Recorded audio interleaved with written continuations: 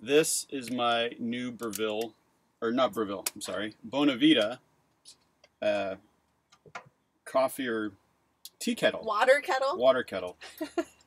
my brain is not working because I need coffee. And it's all in our store. Yep, it's in our store on our website. But the cool thing about this is I can set the temperature of the water, let it go, and if I wanted to, it'll hold the temperature there. I do like it. Oh, RV Trek checked in. Hey. Uh, let's see. We've got people coming in from California, Oregon. Al Ewers from McMinnville, Oregon. What's up, Al? Hey, Al. Look forward to seeing you on the road soon. Hey, we have someone checking in from Malaysia. How I used cool to is live that? there. So, was that on one of our top three destinations? It was in one of the destinations for international travel. So Yeah. I used to live in uh, KL, or for everyone else, Kuala Lumpur, for a little bit when my dad was working there, and I would love to go back to the country because that was back in the early 90s. Let's see. We have someone checking in from England. Very cool. Missouri. Hey, people from Wisconsin. All right. Go Packers. Al says he is picking up his new trailer on Thursday in Mesa. And it's all Joe's fault because you wrote your book. And now he's hitting the road. Yes. Thanks for the plug, Al.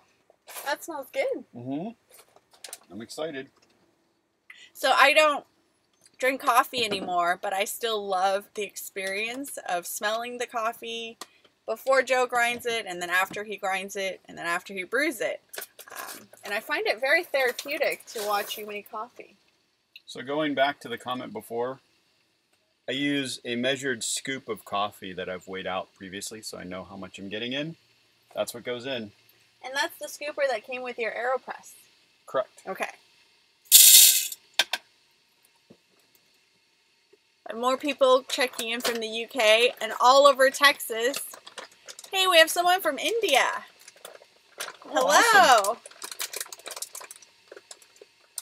India is definitely on our list of places to go one day. It is. And the UK. I don't Mhm. think there's anywhere we don't want to go. No.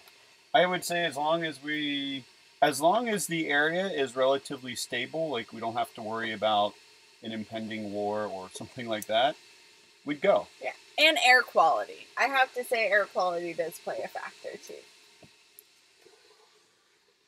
So right now I am rinsing out my filter And why do you rinse out your filter?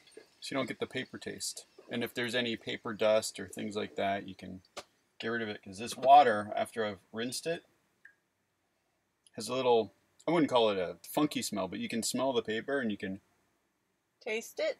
mm-hmm, But sometimes you forget to drink the water. I do. And then my coffee tastes weird. So if you do that, don't forget to drink the paper water. Mm. May I smell? So on this one, I did a coarse ground. It's a darker coffee. I don't know if you guys can See that? see, but mm, it smells really good. Mhm. All right. Hey Al, thank you for the super chat. Really appreciate it. Thanks, Al. And good luck with the trailer this week. I'm excited for you.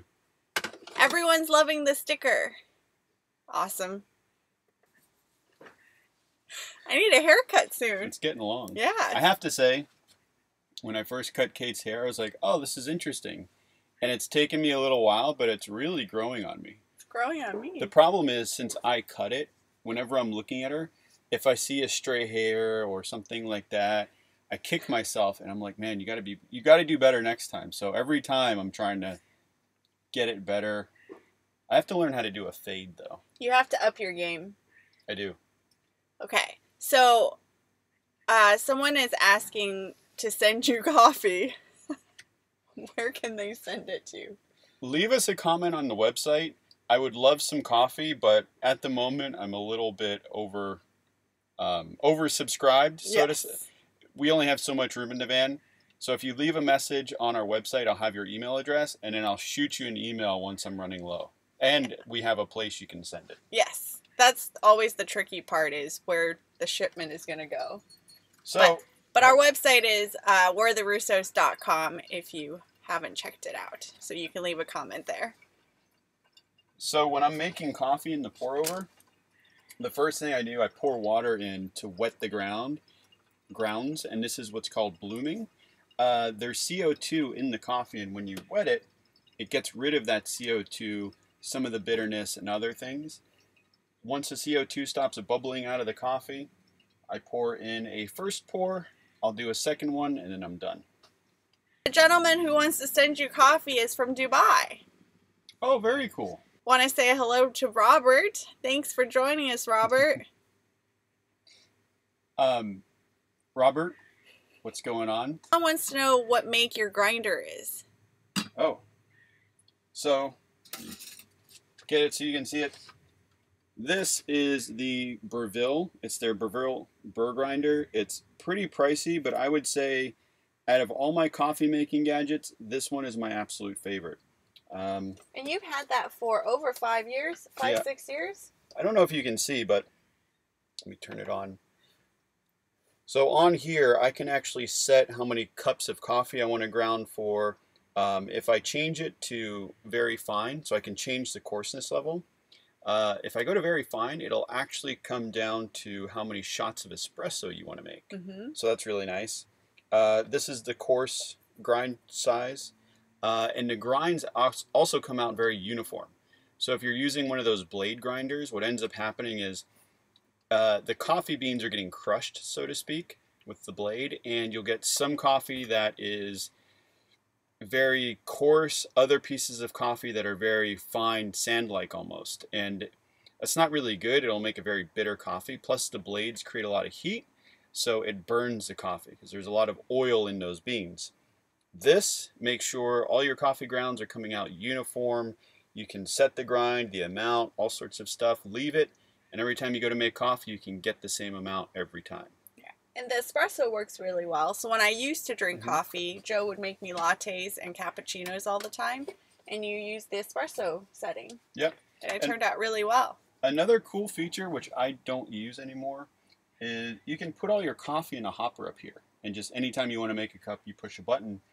The reason I don't use it anymore is, as I mentioned earlier, I use a very specific measure for my coffee, so I know exactly how much is going in.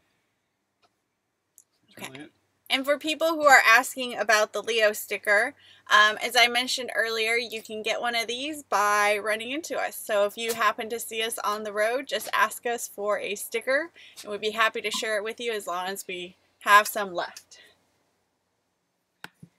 Um, A Burrow, thank you for the super chat. Uh, how about learning a little Did you say- Spanish? did you say a bro? A Burrow. Oh, burrow. Yes. Yeah. Sorry, I thought you said bro. I thought I say a burro. Uh, how about learning a little Spanish and visiting countries in this hemisphere? Lots of choices. Would you like to answer that?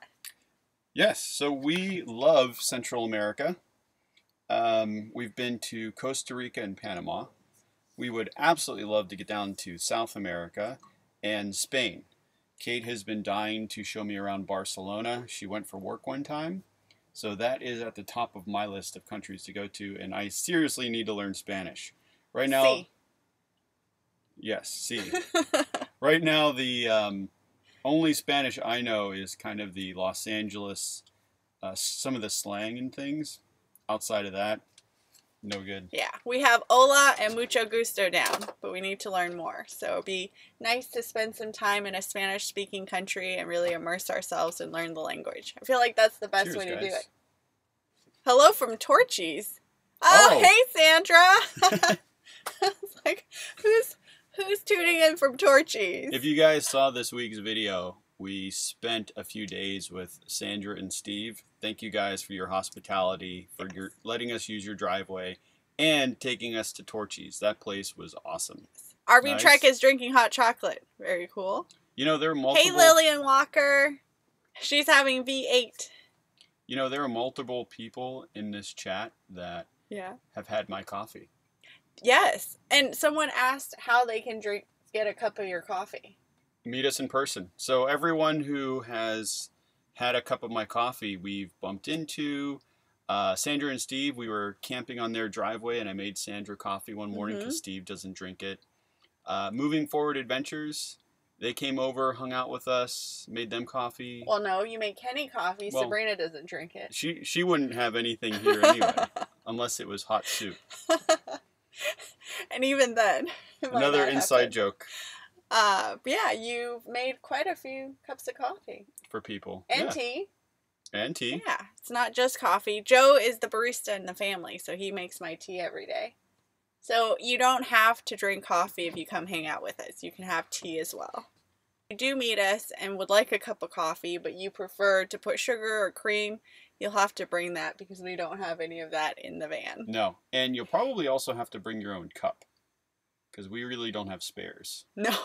Please, can you say the make again? It sounds like just what we want for your burr grinder. Oh, it's a it's a Breville, but if you go to our website, we'retherussos.com, at the top of the page, you will see a link to our store. If you go into the store, you'll see all of my coffee making gadgets. So you can go down and see all the stuff I use to make coffee every day. Yeah, so the tea kettle is there, the grinder, Mm-hmm. AeroPress, and the pour over. Yeah, and this is all stuff sold through Amazon. So it's just a link to Amazon. Any reason why I stopped drinking coffee? Good question. So I stopped drinking coffee for, well, let me take a step back.